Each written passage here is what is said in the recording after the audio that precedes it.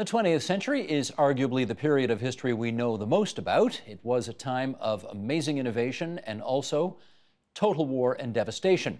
But how do we connect that history to the world we find ourselves in now? Joining us now on that, John Higgs, author of Stranger Than We Can Imagine, an alternative history of the 20th century, and we welcome you to this side of the pond. John, good Hi, to meet Steve. you. Good to be here. Well, you've got some uh, most fascinating profiles of some well-known and some not so well-known individuals from the 20th century in your book. true. You're not, I don't think, a historian normally. not at all. So where did the idea for this come from? Well, it was. I had an awareness that the the, the standard uh, narrative of the 20th century, uh, which we all know very well, you know, it starts with the, the First World War, then the Great Depression, the Second World War, Hiroshima, Cold War, fall of the Berlin Wall. Um, we all know that story. We all get it. It's just for some something about it. It doesn't seem to lead into the world we're in now. Um, you know, this world of, um, you know, uh, endless opportunities and constant surveillance and, you know, tsunamis of, of trivia. I just had a, had a sense that there was probably a better story to tell about that period we've been through to, to, to explain the 20th century, 21st century, to, to, to bring us to where we are here. Well, part of that better story that you want to tell starts with Albert Einstein. Why did you want to start with him? Well, it's hard not to start with, with Albert Einstein. It, it's, it's, he, was the, he was so symbolic of this huge, huge upheaval and change. You know, we, we pretty much understand all the great uh, discoveries and innovations and breakthroughs of history up until about the end of the 19th century. You know, we, we, electricity we get, you know, uh, photography, agriculture, language, all these things make total sense. It's just as soon as you get to the 20th century, you hit Einstein and you hit cubism and you hit quantum mechanics and you hit existentialism and postmodernism and chaos mathematics. And all of a sudden, it's just off-putting and disturbing. And the temptation, I know I felt it was to go, well, maybe I don't need to know about these things. These are, these are, these are difficult. Um, but the problem with that is it means that if, if you ignore all those things, you're in the 21st century looking at it with 19th century eyes, trying to make sense, trying to wonder why, you know, it doesn't actually make any sense. So the point of the book, the whole uh, aim of the book is to take all those uh, subjects that are individually disconcerting, um, but luckily, if you put them together, they start to make a lot more sense. Well, here's one guy who I got to confess didn't make a hell of a lot of sense to me. Yeah. And maybe that's why he's in the book. I mean, Einstein, I get. I get why you start with him. But then you go on to talk about a guy I'd never heard of before who crowned himself Emperor of the United States many, many years ago. Ah, yes, yes. Who is this guy? Emperor Norton. Yes. Emperor, Emperor Norton. This was about the 1860s, um, if you take the exact year. Uh, a homeless guy. Um, he had uh, he'd lost a lot of money. He'd, he'd um, he was down on his luck. He decided to declare himself the Emperor of the United States of America, uh, Emperor Norton I. Uh, he started dressing the part, the hat, the feathers. Um, and the weird thing was, is that people, if not so much took him seriously, they sort of respected what he was doing. Um, he was, he was, they put boxes in the theatres for him to, to, to go and see. He, he had his own, he printed his own currency and bars would accept it. And he did take himself seriously. He, oh, he genuinely believed um, that he was the, you know, God-appointed emperor of the United States, and as a result, it was his duty to get up every morning and be the emperor of the United States. Um, United States is not a, a country that particularly wants an emperor.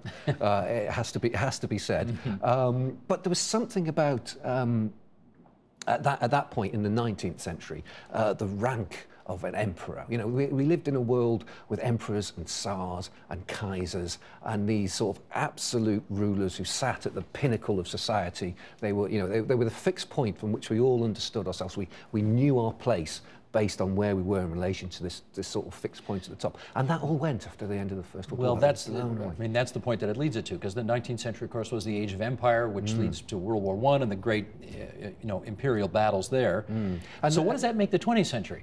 Well, this is the strange thing. We, we all, there wasn't a clear sense that um, not having emperors was an option, right? With, throughout all of history, you know, Alexander the Great, from way before, this was just how humans organized themselves with this, this fixed point.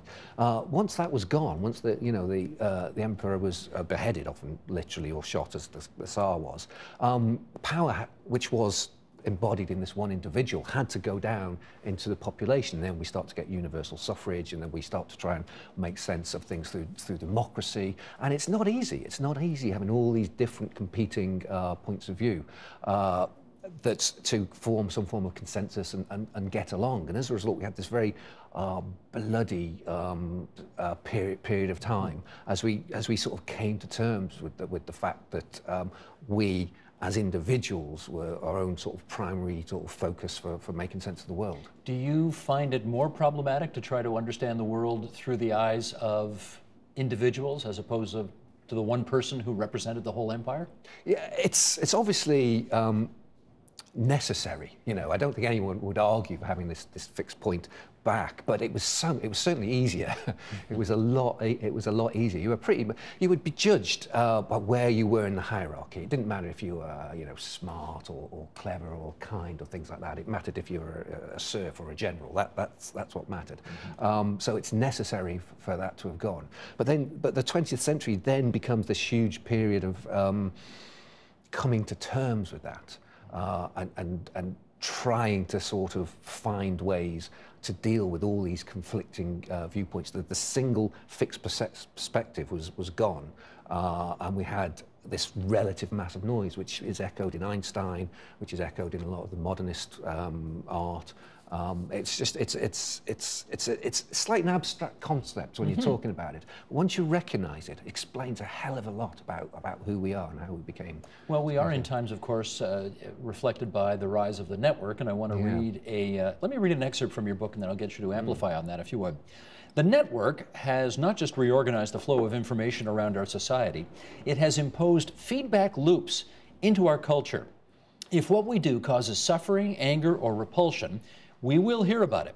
Where once we regulated our behavior out of fear of punishment by our Lord and Master, now we adjust our actions in response to the buzzing cloud of verbal judgments from thousands of people. What are you trying yeah. to say here? Yeah, uh, it was that was a surprise to me when I started writing the book. I just sort of assumed that the story of the 20th century was the rise of individualism. That that seemed you know self-evident to me. But as I, as I went through it, uh, I couldn't deny the fact that the second half of the 20th century was going in a completely different direction. It was taking us into um, this network sense of, our, sense of ourselves. Uh, for, for example, to, for what you were talking about in, in Britain, there was uh, uh, a woman um, was walking home and decided to picked up a cat and put it in, in a bin. I don't know if you ever, ever saw this story, but uh, she, she had a moment of madness. She just picked up a cat and put it in the bin and, and walked on her way. Uh, and if that had been five or ten years earlier, um, nothing would have happened. She would have just, just gone about her business. But because she was seen and that went viral and that was all around the network, you know, she, was, she, was, she lost her job, she was taken to court, she became one of the most hated people in the world. Um, you know, we, we're now longer, um, we're no that we're now responsible essentially for our actions in a way we weren't before. And this, this is really changing the way we, we see ourselves. The, uh, a, a nice example, I think, is the concept of the selfie if, like me, you're, you're, you're products of the 20th century and you see someone taking a photo of themselves, you tend to view that as, you know, a individual taking a picture of themselves for reasons of vanity or, or narcissism to see themselves. Um, but to, you know, to my kids, it's not that at all. You know, it's about strengthening social bonds. It's, it's, about, it's about smiling at their friends. The, the idea of seeing uh, uh, a, a selfie just in that individual terms is ridiculous to them because it doesn't explain what's going on. Uh, and this has been this, um, uh, this this change that's come about with the internet at the, the early 21st century. Uh, we're now uh, in this networked world, and it has changed us fundamentally. There's a part of that that the lover of history, archivist, mm-hmm. uh, you know, a guy who wants to sort of record this moment for posterity, uh, kind of digs. Yeah. But I, but uh, do you think it's more nefarious than that? It's I think it's ultimately good. I think it's ultimately positive. It's it's very traumatic the tra, tra, the tra, um, transition we're going through. Um, there's a sense that uh, the internet can be a mob and can and destroy people. We're only just sort of coming to terms with that and and, and talking about it and, and trying to, to find other ways to do it. It's not it's not a, an easy transition into this network world. There's been this wave of transparency that sort of affected every single um, organisation uh, that there is, for example, everywhere from FIFA, certainly to the British House of Commons, uh, a lot of police forces, um, uh, a, a, a, lot of Catholic Church. Um, there's uh, scandals. Um, they've all come out at once. You know, uh, all these um, corrupt um, goings on of the 20th century were sort of hidden away.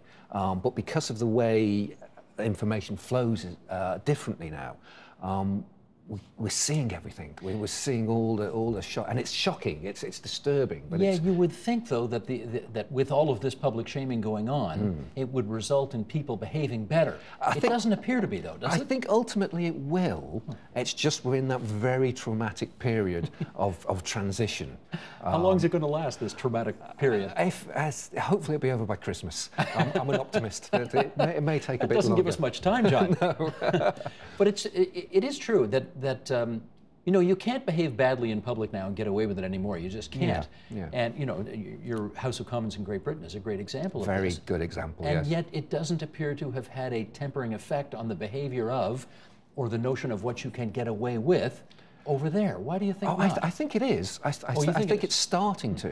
A lot of a lot of the, the corruption we're dealing with is, is, historic, and you know, in, in the 20th century, Watergate was a major scandal. The mm. links between Nixon and those burglars took an awful lot of. Um, legislative time, a, a, lot of attention of the press to deal with and process. And now that seems trivial. You know, that, that seems, we've got so many more, some deeper, some more disturbing scandals being being uncovered.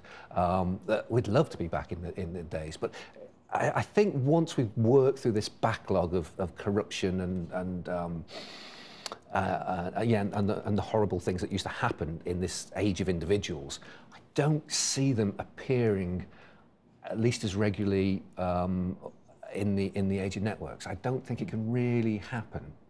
Bit of an offbeat question here mm. because you've written this alternative history of the 20th century. Mm. Are you glad to be alive today, or would you have preferred to live during another time in history? No, I like today. Really? How today come? would be brilliant. Well, I mean, there's a lot of history I love and would love to see, but you just have to um, uh, go back to the days before dentists to sort of realise that maybe it wouldn't have been quite so good. The amount well, how about 50 years in the future? Would you rather be alive then? Uh, yeah, I'd love I, mean, to, I would. Be, I would love to. Well, well, hopefully, but uh. I would love to see 50 years in the future. I mean, there's a lot of of things to be concerned about. Um, we now now we understand uh, chaos mathematics and and uh, and complex systems. You know, we understand the atmosphere. We understand what's going on there. We you know we we, we can't. Um, hide from that. You know, the, the future is troubling in, in, in many, many ways. Um, but this, this just change into seeing ourselves as part of a network um, has to has to help.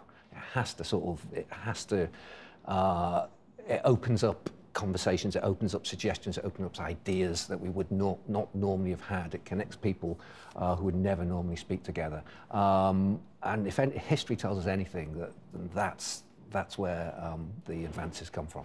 So that's a, a, a hopeful vision of the future. I'm an optimist, yes. You are an optimist. Yes. Uh, the name of the book is Stranger Than We Can Imagine, an alternative history of the 20th century. Ceci n'est pas l'histoire, as you tell us en français, Monsieur aussi. Absolutely. John Higgs, our guest. Thanks so much for visiting us at TVO tonight. A pleasure. Thanks. Help TVO create a better world through the power of learning. Visit supporttvo.org and make a tax-deductible donation today.